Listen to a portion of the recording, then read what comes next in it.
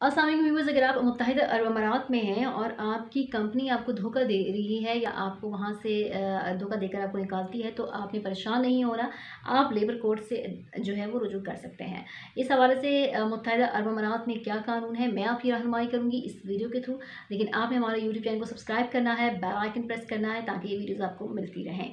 यहाँ मैं आपको बताऊँ कि अगर किसी शहरी को कंपनी धोखे से मुलाजमत से निकाल देती है या उसका कॉन्ट्रैक्ट कैंसिल कर देती है तो उसको हक है कि वो मिनिस्ट्री ऑफ़ लेबर से रबता करे। ये जुर्म है तो शहरी लेबर कोर्ट में जा सकता है। अगर कंपनी के खिलाफ केस प्रूफ हो जाता है, मुलाजमत के हवाले से तमाम कागजात उसके पास होने चाहिए तो कंपनी की गलती है तो कंपनी ना सिर्फ़ जुर्माना पे करेगी, अगर वो शहरी वापस अपने मुल्क जाना चाह रहा है तो उसका सारा खर्चा भी बर्दाश्त करेगी। शहरी को ये हक भी दिया जाएगा कि वो जॉब करे। अगर नहीं करना चाहते तो उसको जॉब तब्दील करने का ऑप्शन भी दिया जाएगा। यानी अब लेबर कोर्ट से आप रुजू कर सकते हैं अपने मसाइल के हवाले से, अपनी कंपनी की शिकायत भी दर्ज कर सकते हैं।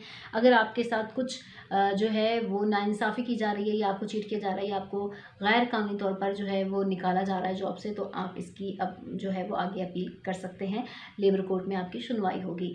आई होप ये लेटेस्ट वीडियोस आपको बहुत आपके लिए बहुत कारामद होगी। आप इनको अपने दोस्त के साथ शेयर कर सकते हैं। हमारे यूट्यूब चैनल को सब्सक्राइब करें बेलाइकन प्रेस करें, ताकि डेली बेस पर ये अपडेटेड वीडियोज़ आपको मिलती रहे।